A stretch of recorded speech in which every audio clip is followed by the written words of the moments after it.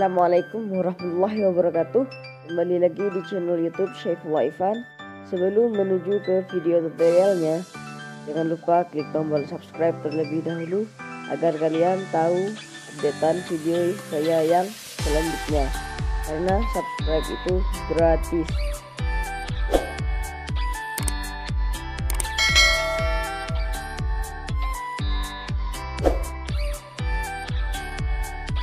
Oke, kali ini saya akan menjelaskan tutorial cara membuat desain kaos dengan menggunakan aplikasi Android, yaitu menggunakan aplikasi Pixelab. Langsung saja kita buka aplikasinya.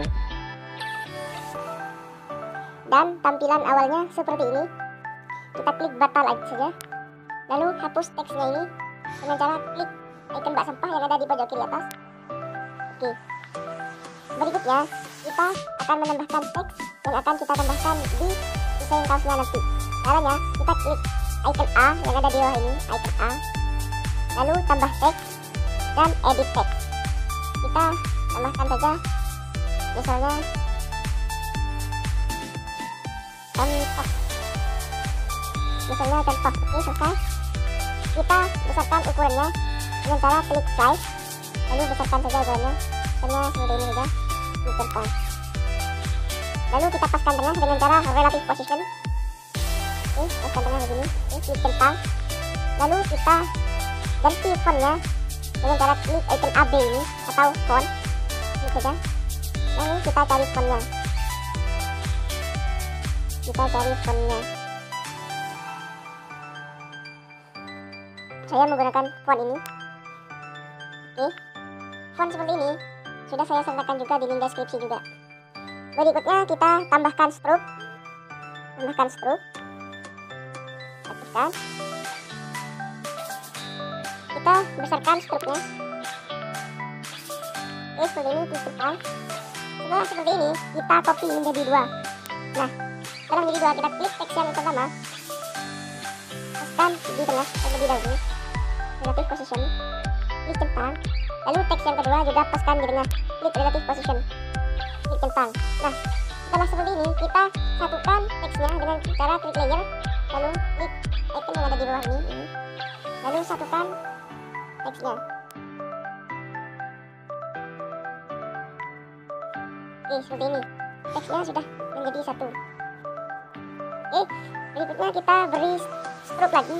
Klik icon lingkaran segi enam yang ada di bawah lalu kita cari stroke aktifkan stroke nya kita besarkan stroke nya oke seperti ini ini cepat setelah seperti ini kita paskan tengah lagi seperti tadi.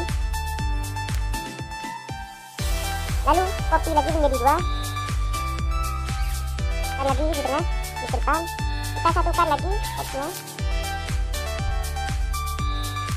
oke nah setelah seperti ini kita buang hitam-hitamnya dengan cara mengklik erase color klik erase color lalu aktifkan buang warna hitamnya.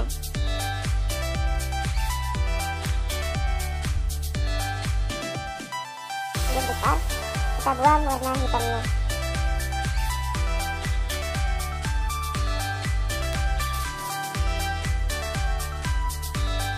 Kita buang warna hitamnya rapikan oke kita rapikan terlebih dahulu.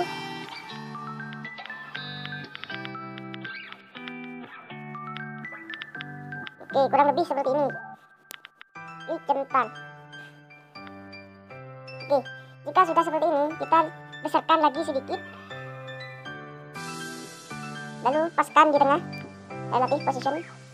Nah ini sudah jadi teksnya berikutnya kita tambahkan kaos polosnya atau mentahan kaosnya dengan cara klik icon segi 6 ini lalu import ini lalu cari gambarnya. Kita cari gambarnya terlebih dahulu. Ini kita buang backgroundnya terlebih dahulu.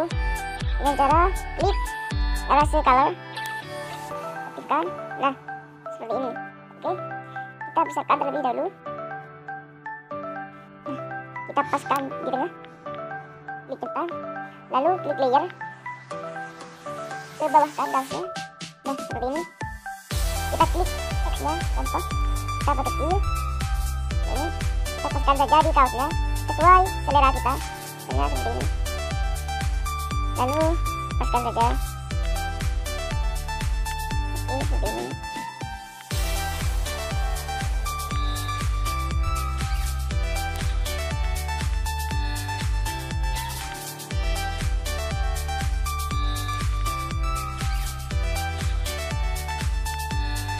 Kurang lebih biasanya seperti ini. Ini sudah terbilang sudah jadi. Tinggal kita kreasikan lagi bagaimana bagusnya, terserah selera kita dan kebutuhan kita. Oke, cukup segini saja tutorial saya kali ini. Semoga bermanfaat. Jika kalian suka dengan video ini, kita jangan lupa klik tombol subscribe, like, komen, dan share. Oke, berikutnya kita save gambarnya di galeri. Sebelum kita save, kita buang backgroundnya terlebih dahulu. Klik icon kotak dua yang ada di bawah, lalu klik transparan. Setelah ini, kita save di galeri dengan cara klik icon yang ada di atas ini.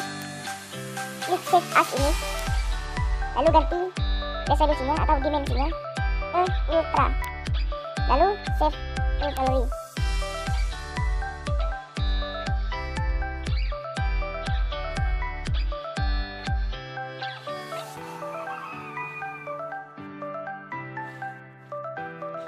Oke, sudah tersimpan di galeri. Cukup sekian video dari saya. Semoga bermanfaat. Terima kasih. Assalamualaikum warahmatullahi wabarakatuh.